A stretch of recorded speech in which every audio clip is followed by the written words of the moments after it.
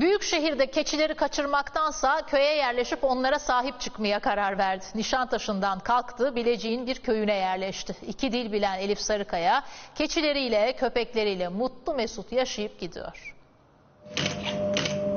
İçerken çok çok. Çok sevdiği keçileri, köpekleri, kedileri. Büyük şehirden bunalan kadın herkesin kurduğu hayali gerçekleştirdi. Şimdi yemyeşil doğanın içinde keçileriyle yaşıyor.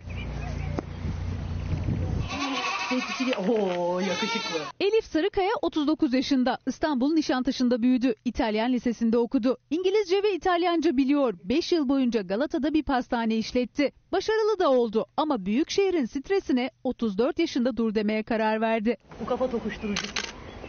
Çok güzel. Koş abiye.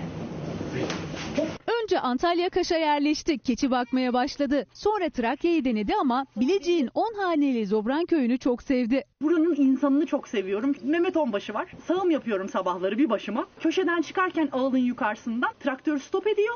Aşağı kadar sessizce iniyor hayvanlar rahatsız olmasın diye. Ben şehirde bu kadar saygılı dü- düzgün insanı bir arada görmedim. 16 keçiyle başladığı besicilik macerasında şimdi 70 keçisi var. İsteği de para değil, huzur. Bence hayvancılığa zaten isteği huzur olan adam girmeli. Eğer böyle Excel tabloları kazanç vesaire düşünüyorsan mutsuz olma ihtimalin çok yüksek. Bu işte. Bu. Değil mi Kumru? Peki dağ başında korkmuyor mu? Keçileri üzerinden verdiği kinayeli örnek durumu özetler. Çakal sesine mesela çok korkan oldu. Ee, sonra yine hayat devam ettik. Anladık ki ne domuz ne çakal zaten bize yanaşmıyor. En korkunç zararlı aslında insan.